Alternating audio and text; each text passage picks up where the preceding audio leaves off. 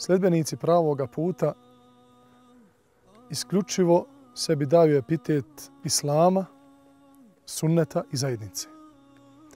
Oni su muslimani, sledbenici sunneta Allahovog poslanika, sallallahu alaihi wasallame, i sledbenici zajednice, džemata. Daju sebi epitet Islama, muslimani su jer je Allah subhanahu wa ta'ala takvim nazvao u Kur'an i Kerimu huwa sammakumul muslimin. On vas je nazvao muslimanima.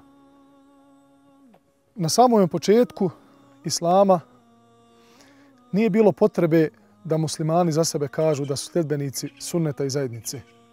Jer su svi muslimani u doba Allahov poslanika sallallahu alaihi wa sallame bili na ispravnoj putu.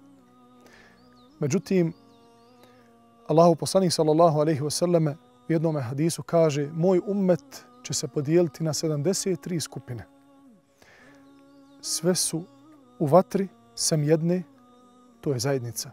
U drugom hadisu, sallallahu alaihi wasallam, kaže sve su u vatri, 72, sem jedne, to je ona koja će biti na onome na čemu sam ja danas i moji ashabi.